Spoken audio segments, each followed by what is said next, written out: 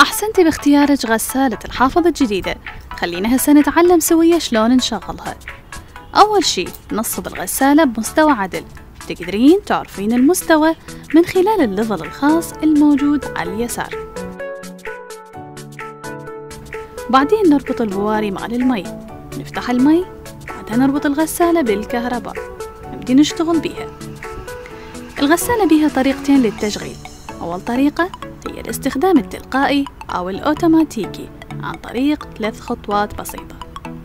أول شي نضغط على مفتاح التشغيل الأحمر.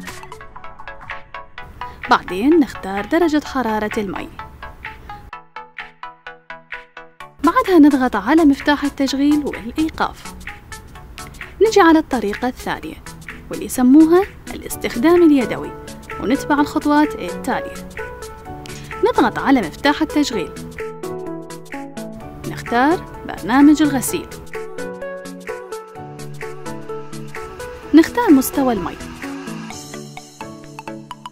بعدين نختار درجة حرارة المي. ونضغط على مفتاح التشغيل والإيقاف. بقى نعطيك بعض الملاحظات الأخيرة وهي لوحة التحكم بها ثلاث مفاتيح. أول واحد يقول لنا وين وصل الغسيل.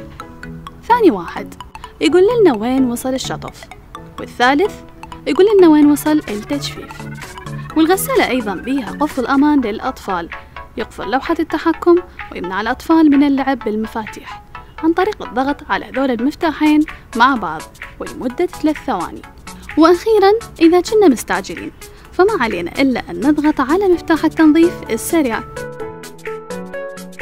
ونعوف الباقي على الغسالة.